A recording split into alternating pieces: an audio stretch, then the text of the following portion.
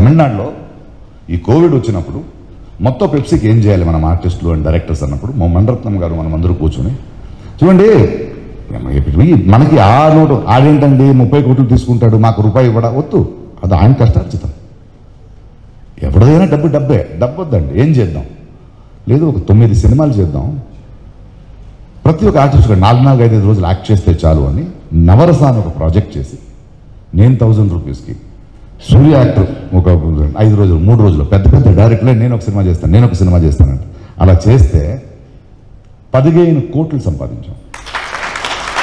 Ten thousand two hundred మెంబర్స్కి ICICI bank కార్డులు ఒక కార్డు చేయించి డైరెక్ట్ వాళ్ళకి వెళ్ళేలా చేసాం.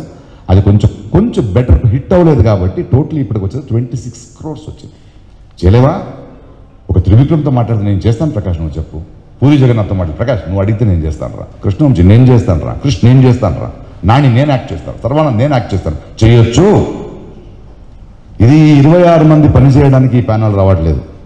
రెండు వందల మంది ఎవరు బాగున్నారో వాళ్ళ దగ్గర చేయించడానికి వస్తున్నాం. బెనర్జీ చెప్పినట్టు వాళ్ళు చేయడానికి రెడీ. కానీ అపాత్రదానం అయిపోతుంది అనుకుంటున్నారు. ఒక విజన్ లేదనుకుంటున్నారు. నా కళ ఇంతే ఆకలిస్తుంది మీకు ఎక్కువ మాట్లాడను.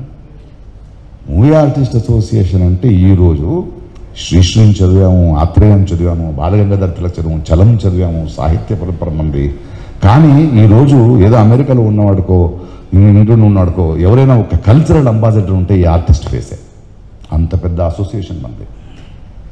మన ఆర్టిస్ట్ ఫేస్ లేకుండా ఒక మ్యాగజైన్ అమ్మరు ఒక టెలివిజన్ ఒక సినిమా అమ్మలేదు ఇంత పెద్ద అసోసియేషన్ ఉండి వందల యాభై మందిని ఆదుకోలేమా మనం?